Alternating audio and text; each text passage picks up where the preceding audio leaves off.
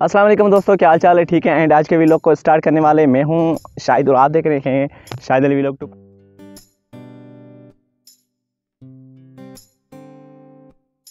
totally new car है। I think मैंने शायद एक बार चलाई होगी। अगर मैं ये फैक्ट्री से निकलवाने की कोशिश करता तो मुझे जो है ना काफ़ी टाइम लग गया था तकरीबन कोई पाँच छः महीने स्पेशली जो है ना वो मैं डक्की भाई को ये स्पेशली मुबारक मुबारकबाद देना चाहता हूँ क्योंकि डक्की भाई ने पाँच करोड़ की गाड़ी ले ली है भाई वो भी इलेक्ट्रिक बाइक गाड़ी। तो मेरे ढक्की भाई तो आपने बहुत अच्छी गाड़ी ले ली है और अल्हम्दुलिल्लाह, शुक्र अल्लाह का आपका ये भी है कि आपने यूट्यूब की अर्निंग से यूट्यूब के वजह से आपने एक गाड़ी ले ली है।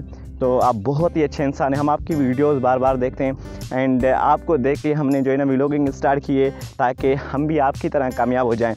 कामयाब करने के लिए कि आपने अच्छी गाड़ी ले ली है, इस हुकूमत में क्योंकि ऐसी गाड़ी लेना लाजमी थी क्योंकि यहाँ पे पेट्रोल ज़्यादा महँगा हो गया है। ठीक है? तो इसी वीडियो को रिकॉर्ड कर लें। यार आज बहुत ही ज़्यादा गर्मी थी। मैंने इतने दिन वीडियो इसलिए नहीं बनाया था ताकि मुझे ये लगा कि मैं नहीं होने वाला हूँ वायरल नहीं होने वाला हूँ।